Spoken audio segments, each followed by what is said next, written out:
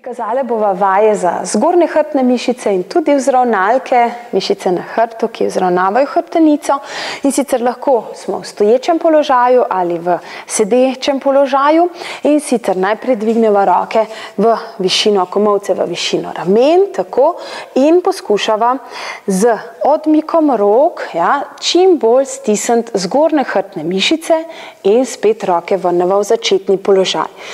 Ko naredimo kontrakcijo, izdihnemo in potem se vrnejo roke v začetni položaj spet. Izdih nazaj, tako in vdih naprej.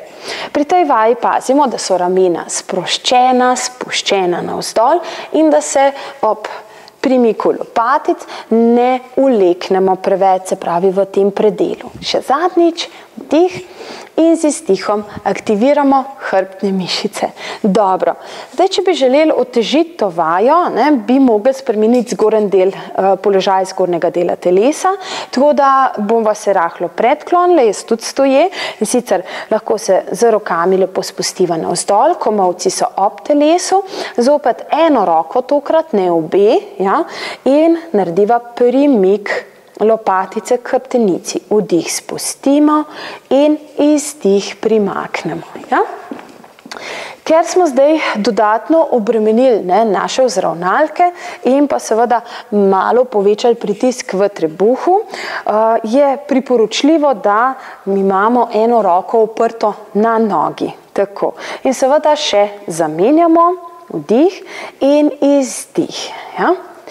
Zdaj to vajo lahko otežimo na dva načina in sicer seveda lahko dodamo lahke uteži ja, ali dodamo elastični trak.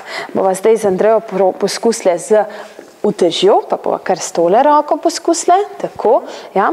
Isto si v tem položaju, ne, in zdaj lahko lepo dvigneva najprej, kar iztegneš roko, tako, in dvigneva roko v stran in spustiva navzdol. Ja? Izdihneva in vdihneva. Odlično.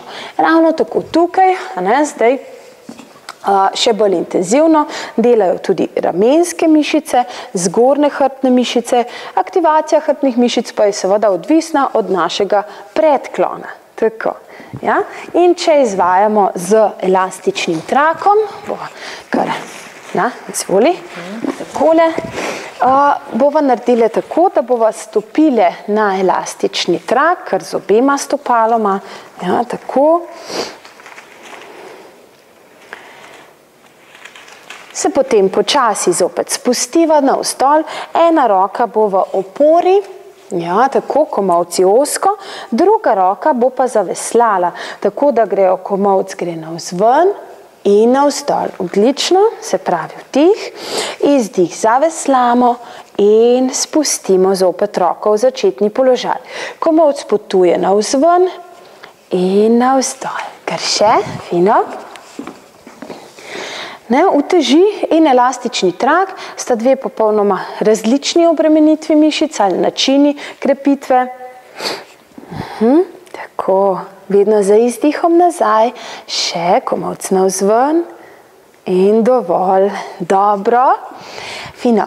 Um, tako da to je bilo nekaj vaj ne, za zgornje hrbtne mišice, ki jih lahko izvajamo stoje, sede, seveda se izvaja še veliko vaj v drugih položajih, ampak uh, zaenkrat je to dovolj.